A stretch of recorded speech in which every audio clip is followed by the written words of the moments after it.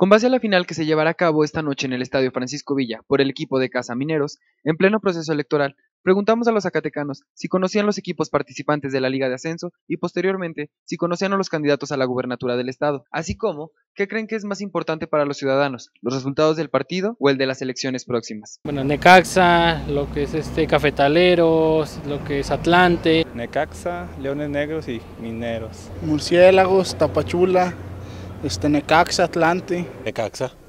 Obvio.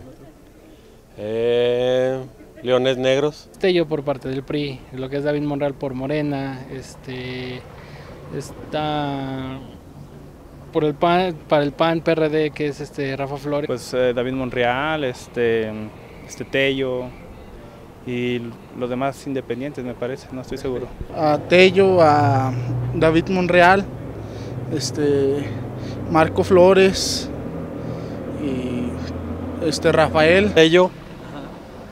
¿Quién más está por independiente? Marco, creo. Marco Flores. Ahorita, ahorita realmente lo que les importa más es el fútbol. Realmente ahorita están metidos más con lo del equipo que realmente lo que deberían de importar, que son las urnas. Ah, pues el partido ¿no? de hoy es más emocionante. Lo demás creo ya sabemos quién va a ganar. Ah.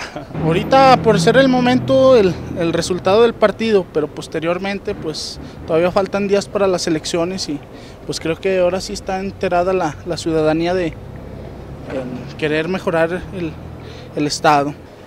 Híjole, lamentablemente está difícil la respuesta, ¿verdad? Yo pienso que la de Mineros, lamentablemente, ¿no? Con imágenes de Diego González para México Explorer, Alberto Morones.